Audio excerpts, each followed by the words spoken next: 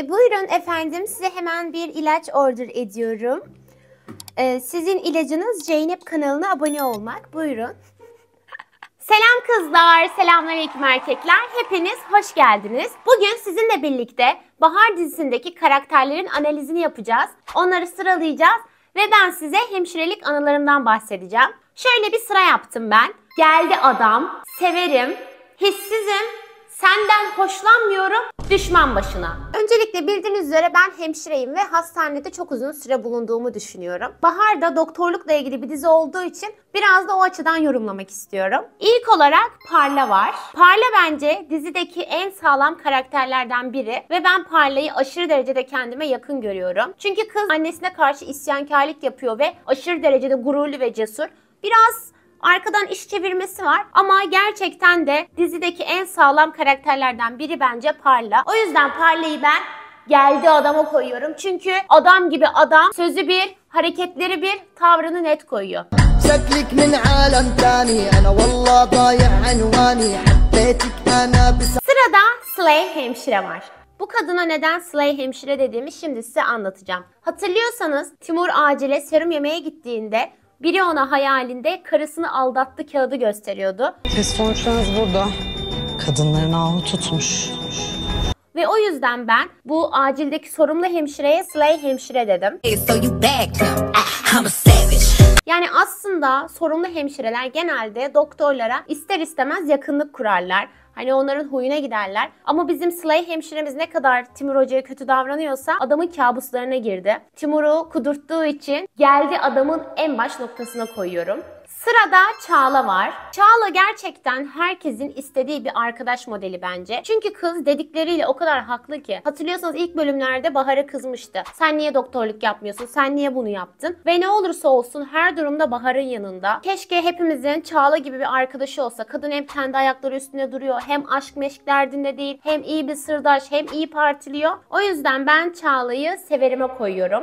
Ve sırada Cihan Taş Eski var. Bu son bölümde gelen kolostomi takılacak olan hasta. Şimdi bu tip hastalar çok karşılaştığım hasta profili. Bu hasta aslında kendi sorunlarıyla baş edemediği için, kendine hastalığı yakıştıramadığı için etrafına sinir saçıyor. Benim de bu hasta gibi bir hastam olmuştu. Ve adamla başta o kadar zıt gitmiştik ki yani adam beni hiç sevmiyordu. Ama zamanla beni tanıdıkça hem kendini bana açtı hem de en çok beni sevdi. çok seviyorum onu hala. Cihan Taş Keski için severime koyuyorum çünkü bana hastamı hatırlatıyor. Bakmayın siz bunun bu kadar sert olduğunu. Aslında çok iyi bir insandır. Sırada Rengi'nin kocası adam var. Valla ben bu adamın ne olduğunu, nereden çıktığını, neden olduğunu hiçbir şekilde anlamadım. O yüzden buna hissizim diyorum. Ve sırada Umay var. Umay klasik doktor çocuğu profilindeki insan. Yani nasıl? Hani böyle hayatı lüks yaşar. Çantasında Victoria's Secret'ı olur. Victoria's Secret kartlığı olur. İlgi bağımlısıdır. Annesi de babası onun odak noktası olsun ister. Abisini çok sever. Evin prensesidir. Onunla arkadaş olabilirsiniz. Çünkü Umay'la arkadaş olursanız gerçekten size sıkı dostluk yapar. Hatta size hediye falan alır. O yüzden severim diyorum. Sırada Uğur var. Valla asistan doktor. Buna karşı bir hissim yok. Daha gözlemleyemedim ilk bölümler diye.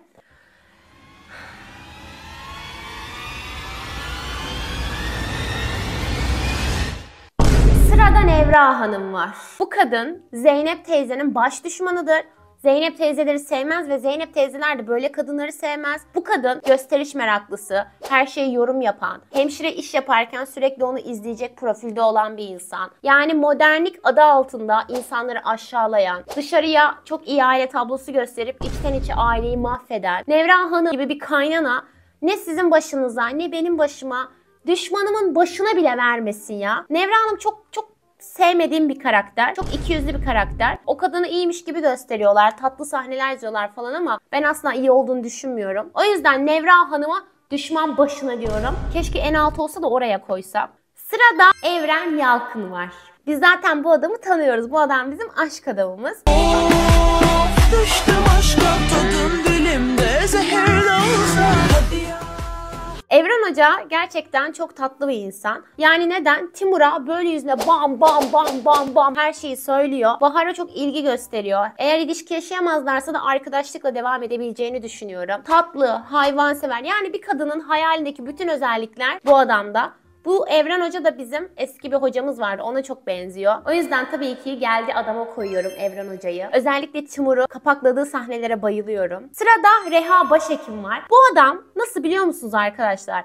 Kim nereye çekerse o tarafa gidecek bir profilde. Yani hani böyle insanlar olur ya sağ dersin sağa gelir, sol dersin sola gelir. Bir kabın şeklini oturtmaz. Ama normalde başhekimler böyle olmaz benim bildiğim. O yüzden ona karşı hissizim. Sırada Aziz Uras var. Bu biliyorum ki hepinizin diziyi daha çok severek izleme nedeniniz. Babasına karşı isyankarlığı olsun, yani dediği şuzu olsun, annesine karşı ilgisi olsun, doktorluk başarısı olsun, her şeyle mükemmel bir insan. Ama ve lakin sevgili tercihinde gerçekten çok zayıf bir insan. Yani o kadar koca dünyada, koca okulda, koca tıp fakültesinde, koca evrende insan kalmadı da sen nasıl gidip bu zorba kızı seversin? Neyse Aziz Uras'cığım onu görmezden geliyorum ve severime koyuyorum. Ve sırada Doruk var. Doruk dizide beni tek güldüren insan olabilir. Yaptığı hareketler, komiklikler, Doruk'la birlikte dizide şuna değinmişler. 19-20 yaşlarındaki erkeklerin 40 yaş üstü kadınlara olan ilgisinden bahsetmişler.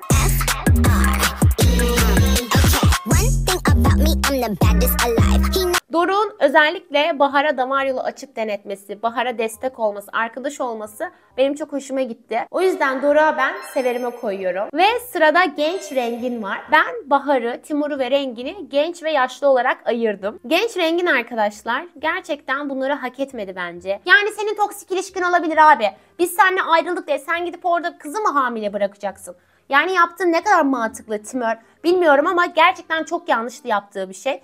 Genç rengin abi haklıydı gençken. Gençken haklıydı. Ama tabii ki insanlar zamanla değişir. Onu birazdan konuşacağız. Genç rengini ben severim. Ben genç renginin arkadaşı olsaydım onların ağzına ederdim bu arada hepsinin. Hayır değil! Hayır değil! Kimse benim kankama böyle bir şey yaşatamaz. Ben de izin vermezdim. Kimse kusura bakmasın. Bahar'ı çok seviyorum ama gençliklerinden bahsediyorum. Ve benim izlediğim Kore versiyonunda yani Doktor Chay'ı izledim ben. Doktor Chay. Doktor Chay'da olay ne biliyor musunuz? Bahar senaryoya göre renginin elinden hem Çağla'yı almış hem de Timur'u almış. Dizinin Kore versiyonu da öyle gösteriyor. O yüzden ben genç rengini seviyorum arkadaşlar. Kızcağız ne yani? İnsan tabii ki sevgilisini terk edip yurt dışına gidebilir. Bu çocuk yapacağı anlamına gelmiyor. Sırada Gönül var. Abi Gönül beni delirtti. Sen neden iş başındayken arayıp bunları kuru temizlemeye verdin mi diye sorarsın ya. Hayırdır Gönülcüm canın mı sıkılıyor? Dedikodu mu arıyorsun sen? Ya ben Gönül'ü hoşlanmıyorum arkadaşlar. Hoşlanmadım kadından. Gidip bir hafta tatil yaparsın rengini dinleyip. Kuru temizlemeye işte verdin mi diye Bahar'ı ararsın. Bahar yanlış ilaç yapar. Hoşlanmıyorum senden Gönül. Sırada Seren var. Böyle Seren'i izlediğim sahnelerde arkadaşlar elim ayağım titriyor ve yaşadığım böyle mobbinglerim geliyor, bana bağırışları geliyor. Böyle benden bir tık yüksek olan hemşirelerin beni aşağılayışları geliyor. Twitter'da bir kesim var. Seren'i Doktor Zenon'a benzetmişler. Hayır alakası yok. Zenan zorba değildi ama Seren karakteri bildiğiniz zorba. Mobbing çok yanlış bir şey zaten. Ama sen tutup da o kadar bağıramazsın. O hastanenin bir başhekimi var, bir üst kurulum var. Sanki Seren'i gören profesör doktor üst düzey bir şey zanneder. Bazı hastanelerde başhekimler bile doktorlara bağırmaz. Kimse kimseye bağırmaz yani. Çünkü sen bağırıyorsun orada hasta yakınları var. Hiç profesyonelce değilsin Seren'cim. Seren senden hoşlanmıyorum. Çok çirkef bir kızsın. Bizim eski iş yerinde de böyle bir zorba hemşire vardı. O hayatına devam ediyor, ben hayatıma devam ediyorum. O yüzden Seren düşman başına bana o kızı anımsattığı için. Müsaadenle cringe diyeceğim. Sırada Timur var. Timur, Timur, Timur, Timur. Öf. Timur'dan hoşlanmıyorum arkadaşlar. Zaten tahmin ediyorsunuzdur benim gibi bir karakterin Timur gibi bir hoşlanmayacağını.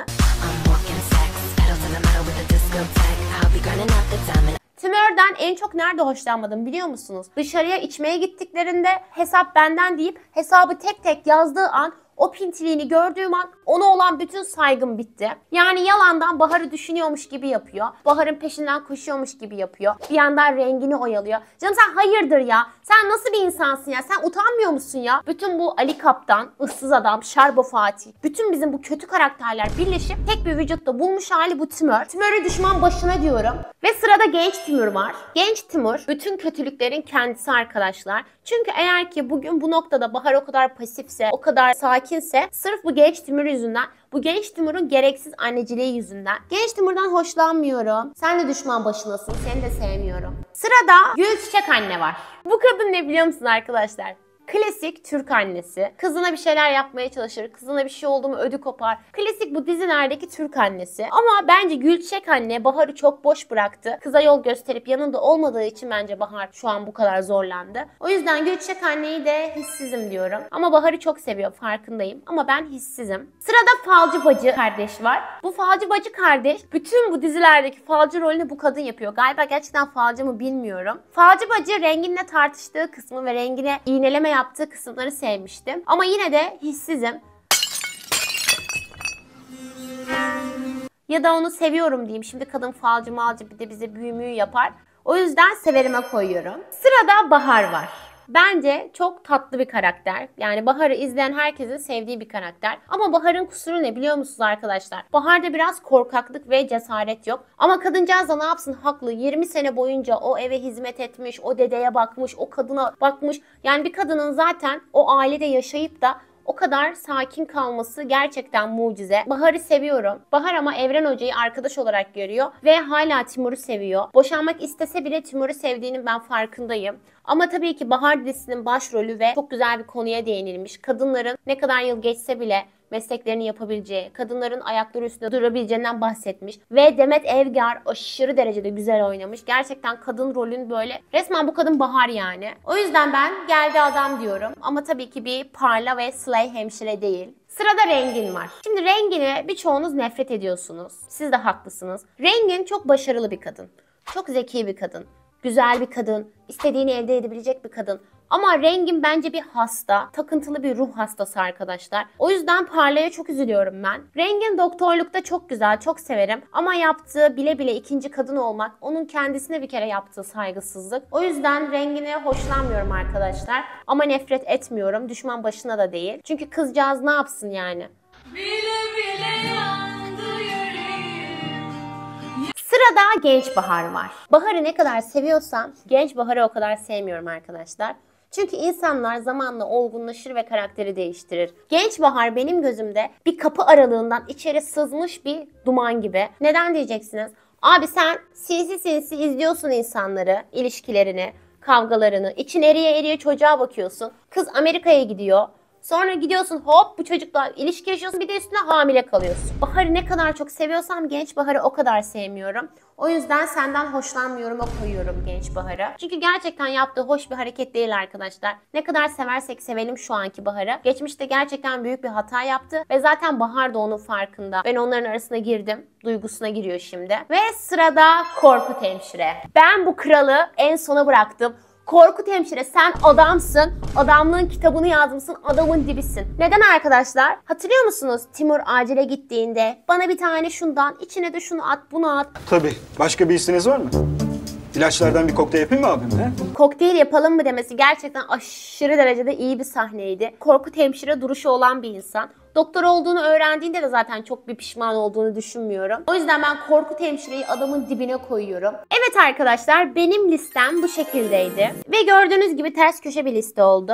Videoyu beğenmeyi ve kanala abone olmayı unutmayın arkadaşlar. Yorumlarda eğer ki başka yapmamı istediğiniz liste varsa yazabilirsiniz. Sizleri çok seviyorum. Öptüm. Bye bye. Şimdi canını Hepsi gebersinler